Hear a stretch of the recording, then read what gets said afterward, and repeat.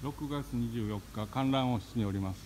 えー、開園がまだなってないんですけども、えー、ただいま、えー、水まき作業とか清掃作業を、え今職員がやっております、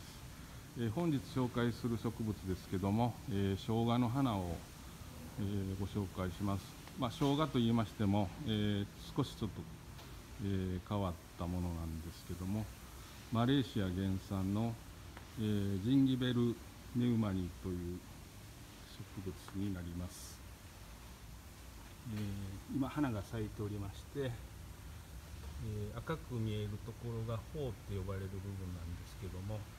えー、そこからこのような、え今花が出ております。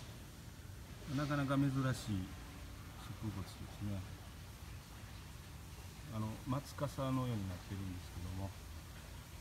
れが頬と呼ばれる部分になっておりますジンギベルメウマニでした。